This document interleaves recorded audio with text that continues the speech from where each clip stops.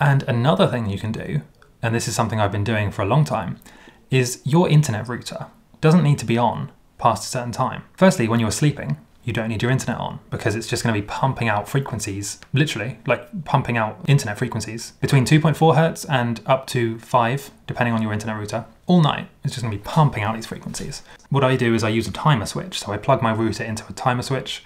Past a certain time, for me that time is 9 pm, the internet turns off and it doesn't turn on again until about 7 in the morning. And that's really good because you don't need to be on the internet. And it's been shown that the more screen time you have in the two or three hours before you go to bed, the worse your sleep.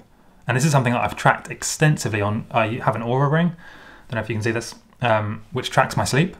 And I noticed that when I spend time on on my phone, on social media, on YouTube before bed, my sleep is worse.